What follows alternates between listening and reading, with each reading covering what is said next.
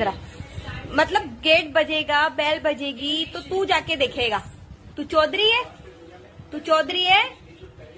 जरा सी आहट होगी गली में तो तू जाके देखेगा। तू गली का चौधरी है? कोई गली से निकले नहीं?